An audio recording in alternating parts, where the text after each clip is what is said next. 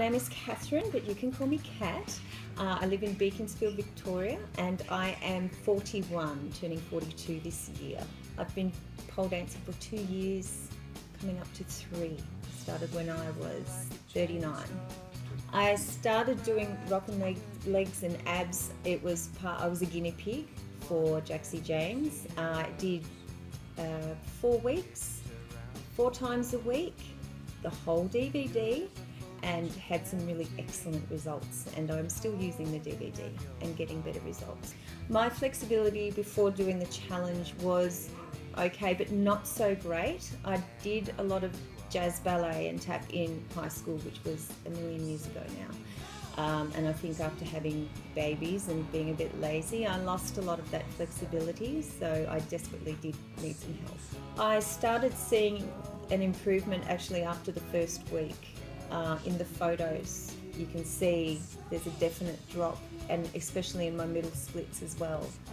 Um, I find with stretching I get a bit scared I'm going to hurt myself. So I think the confidence comes with continually doing the DVD, then you know, yeah, it hurts a little bit, but it gets better, and then you can relax a bit more, and then I think your muscles relax, and then you will one day end up like a pancake.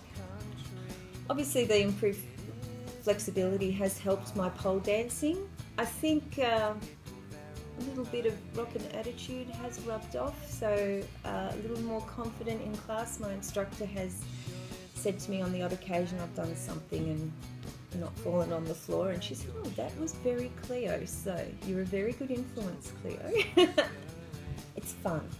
It's fun, and you can make a mistake and you can laugh at yourself because I laugh at myself quite often, and uh, and it's great to watch you and to watch the other girls as well because you're so flexible. So that's motivating as well, but it's fun. Um, it hurts, but it's fun. It's a good workout. Oh my god! It's all about fanny on the floor, growing old disgracefully. That's what it is. The the girls on the Rockin' Legs and Ab, Abs page are fantastic support. So anyone who's watching this and they're a little bit nervous putting, about putting up progress pictures, please don't. I know I love to see everyone's progress. Um, I think the nicest thing about pole dancing is that all the girls who do it, whether you've just started or been doing it for, for a long time, everyone looks different, but everyone's amazing. So put those